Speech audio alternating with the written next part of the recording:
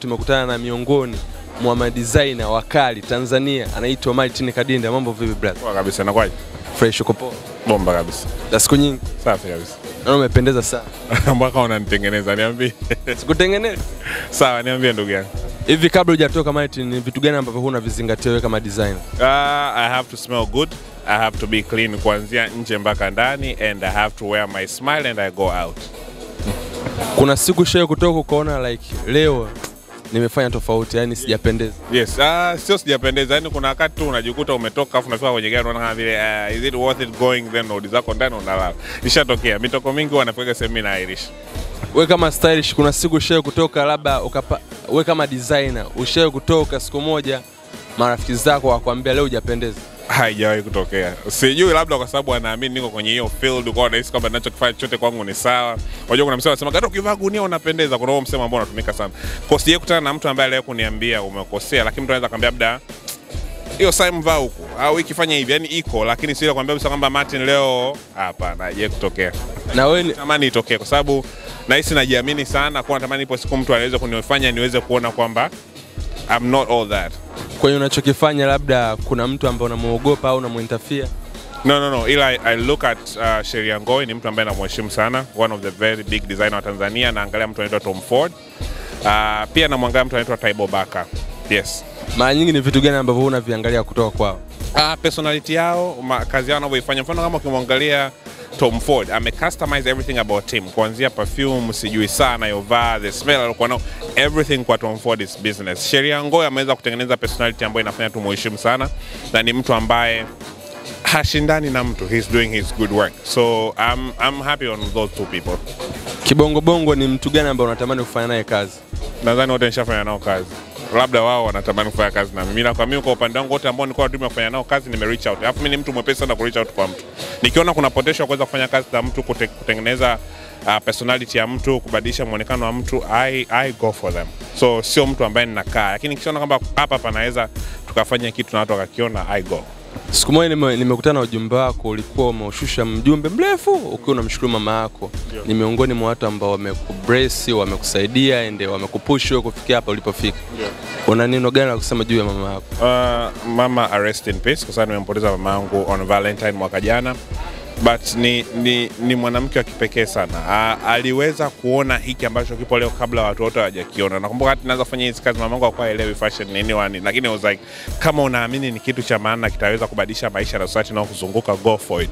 Kwa I've been respecting her na nahisi kitendo cha kuniambia go for it alinipa baraka. Wazazi wana nguvu sana, wanasema ni Mungu wetu hapa duniani. So she gave me a blessing ambayo naishi mpaka leo. Yeah. Nikutoe kidogo kwenye mambo ya designing, nije kwa rafiki yako Wema Sepetu. Ame break the internet, sasa hivi ni story kwa kila mtu juu ya mahusiano yake na Whozu. Wewe una lipi la kusema juu ya mahusiano yao? Uh, Wema ni Wema, anachokipenda Wema ndo tunachokipenda sisi mzunguka Kwa hiyo tuko naye. Labda siku ambaye anaanza kudate na Whozu Asikuiona hiyo siku. we, au siku ambao walianza kuhang out pamoja, we kama rafiki yake alikushawishi au aliku, alikuhusisha au ilitokea tu kaona? Wema na Ozu ni marafiki wa muda mrefu sana. Nashangaa kwa nini saizi imekuwa hivyo. Labda nadhani urafiki umezidi kwa muda mrefu, lakini Wema na Ozu ni marafiki wa muda mrefu. Nadhani kama ni miaka minne au mitano toka wameanza kuwa marafiki. Because they have been friends for quite some time. Ndio maana nasema ukiniambia walivyoanza kudate nakwambia sijui wameanza kudate lini, lakini naona kama watu wengine wanavyoona. Kwa hiyo Wema ni Wema, anachokipenda yeye basi alipo na si tupo. Kapo wewe unaionaje?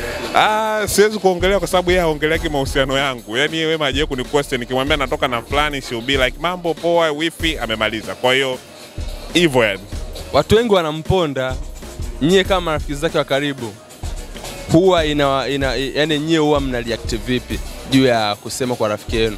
Watu wengi wanamponda. Ukisema nani na labda nitajia watu wawili wanaomponda. Kwa mfano ukipita kwenye comment tu ya yoyote ya Whozu.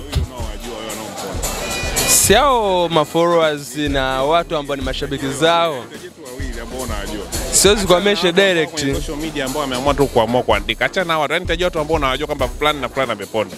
Kwa sababu binadamu tunahisiki tuna mamlaka juu ya maisha ya mtu mwingine. Hatuna hayo mamlaka. Kila mtu atadate na mtu anayemtaka, atazaa na mtu anayemtaka na ataenjoy maisha yake, kwa sababu kila mtu kaja duniani peke yake na ataondoka peke yake. Kwa ukiniuliza watu wanachosema, mimi siwajali, kwa sababu hata unaweza kukuta behind your back watu ambao unawapenda wanakusema. Kwa hiyo sidhani kama ni kitu ambacho kinatakiwa kuniumiza kichwa. Kwa mtu ambaye amjui Wema, Wema ni mtu wa design yetu. She's a very good hearted person. Ndio maana tunamuita sweetheart kwa sababu ana moyo wenye mapenzi, ni mtu mwenye uvumilivu mkubwa. She's a woman. Yaani kama ingekuwa ni amri yangu ningemfanya awe mke wangu, kwa sababu nahisi hata watu ambao wanatoka naye nawaonea wivu. She's a very good woman. Achana na haya mambo watu wanaoyaona mtandaoni. She is a good woman. Yeah. Kwa muda mrefu hatujawahi kuona mahusiano na Martin. Kwa nini Martin amwonyeshi mpenzi wake Ushasema mahusiano ya ya Martin Kadinda? then ni mahusiano ya Martin Kadinda, sio mahusiano ya watu wengine.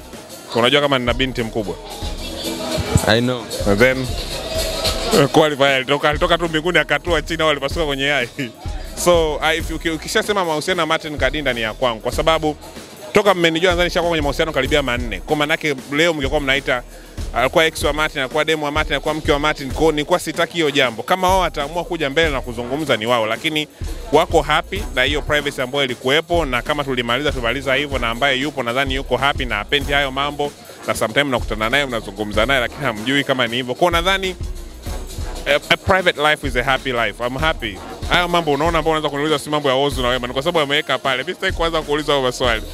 Yeah. Kitu gani kinakukera kutoka kwenye kwa Ozu na Wema? Hamna kinachonikera kwa sababu hawanihusishi kwenye mambo yao, kwa mambo yao ni ya kwao. yeah.